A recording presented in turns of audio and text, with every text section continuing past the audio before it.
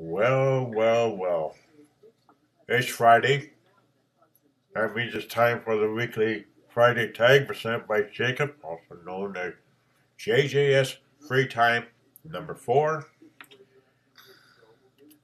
And I believe this, if I remember from watching the video, I'm going to call this the part one of your Christmas tag because apparently you said something about Christmas tag or some kind of tag on Christmas Day. But maybe I'm hearing things. I don't know. But anyway, you have asked us five questions. Five questions I shall answer for you. And I know what most of my answers will be.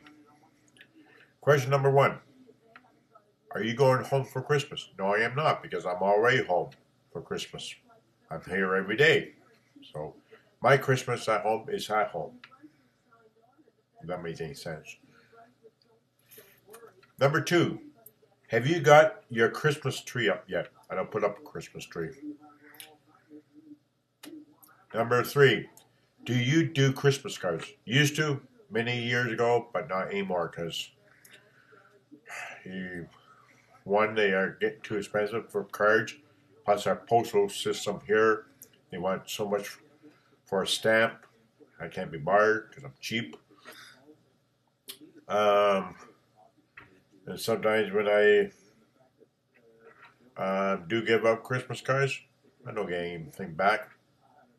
Not, I'm not saying I don't want anything back. It's like the thing of giving or whatever, even though it's a card to say Merry Christmas. I might do in a video like wishing everybody Merry Christmas. And so far, I only got three cards this year. Number four, do you believe in Santa? Oh Lord. Um maybe thousands of years ago when I was a kid, yes. When you get older, nah. Because you realize how much of a commercial racket it is. Having some, because um, the malls, they got paid gentlemen to get dressed up as Santa. Um, hear all their complaints and what they want for Christmas and everything else. So to me, at the moment, no, I do not believe in Santa because to me it's just all commercialized now. But for children, hey, keep on believing. Keep on believing. Uh, number five, do you have problems with your memory? What was the question? Oh, do you believe have do you have a problem with memory? Um, I, how can I put this way? Um, sometimes, sometimes not.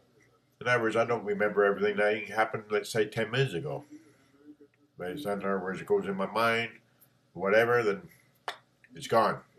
And all of a sudden, out of the blue, it seems to come back. So, do I have a problem with memory? Probably I do. Anyway, those are my answers to your questions. Until we see each other again, my friend, you take care and have a very Merry